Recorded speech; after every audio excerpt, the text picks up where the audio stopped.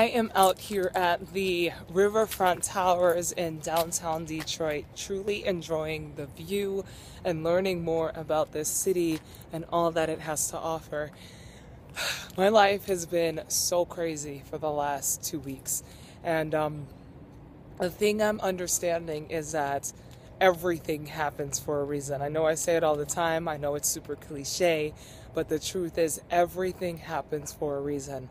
And while I'm unsure of what is next, and it's kind of backwards now, but the shirt says it best. I am moving in faith, trusting that God makes no mistakes, trusting that my destiny and the future I have ahead of me is going to be bright and it's going to be amazing and it's going to be fulfilling knowing that I am achieving His will for my life, knowing that I am living out a purpose filled life.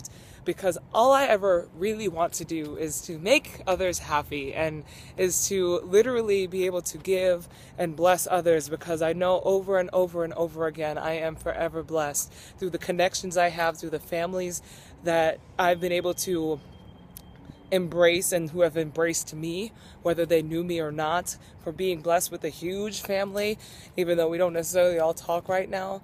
But the truth is, I am blessed and I am so thankful to God for all the opportunities ahead and for everything that has happened in the past. And all I could say to you today is to believe in yourself, is to trust.